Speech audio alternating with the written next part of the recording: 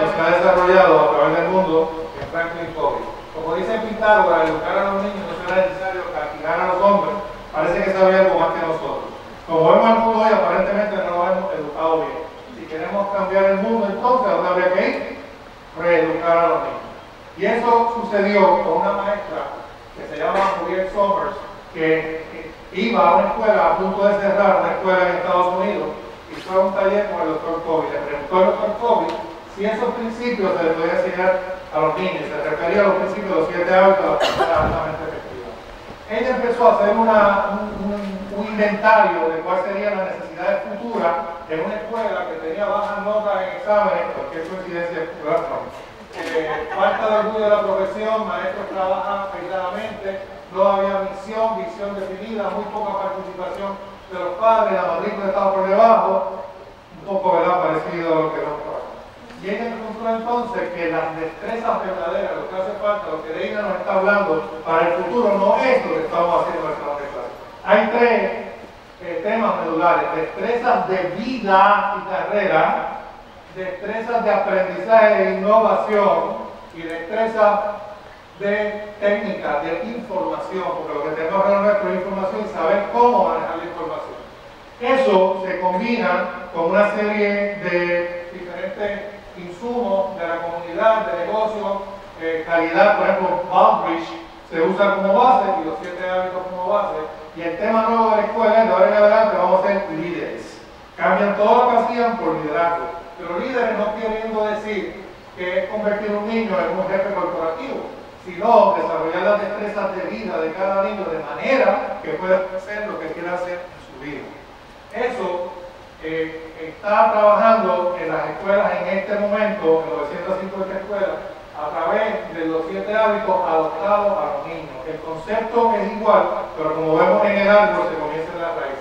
Por ejemplo, la nieta mía que tiene nueve años, le dio un librito que está por ahí en la mesa, y para ella ser proactivo quiere decir yo soy responsable de mi vida. Pero para ella quiere decir, por ejemplo, hacer primero lo primero, trabajar primero cuando llega a la casa, hacer las asignaciones primero y jugar después. Porque eso me permite a mí jugar más. Pero ese cambio nada más en el concepto aplicado a todo es lo que hace que ellos tengan metodologías diferentes, métricas. Ellos, estamos hablando de niños de 4, 5, 6, 7 años, que dirigen realmente la escuela. Tienen actividades diversas, como días de liderazgo, donde invitan gente de la comunidad. Pero esos días de liderazgo, allí está mi socia Ivonne y yo que fuimos a uno y no podías creer. Los niños te sirvieron, te dieron la comida, te pero estaba hablando de niños de 4, 5 y 6 años. Dirigieron la escuela ese día para nosotros.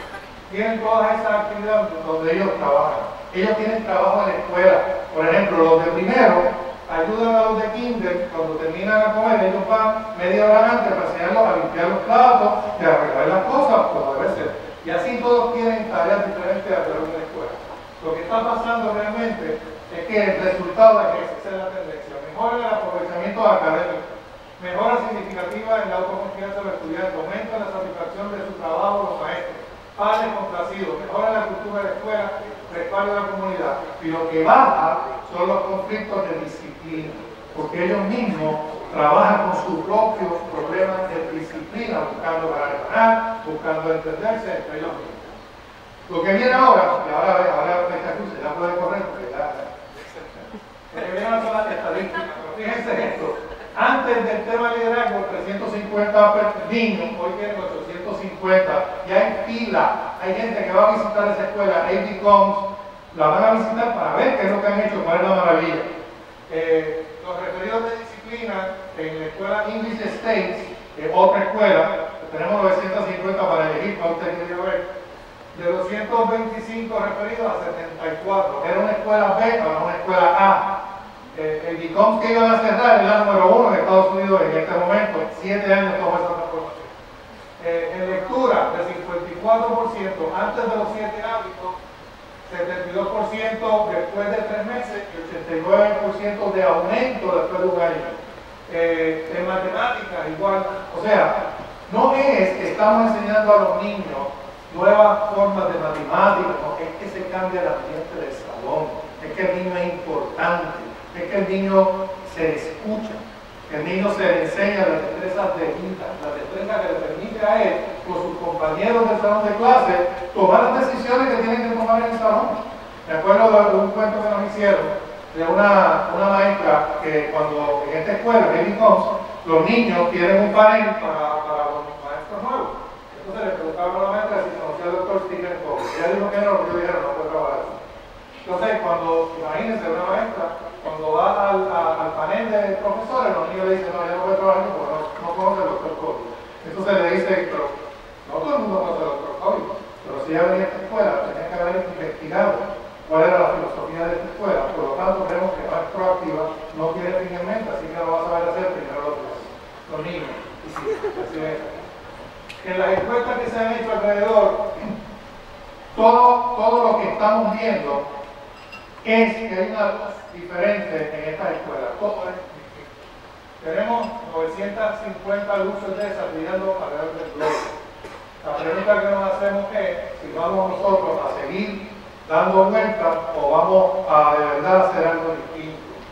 Tenemos una sola oportunidad de reeducar a nuestros niños. Hay una sola oportunidad y es ahora.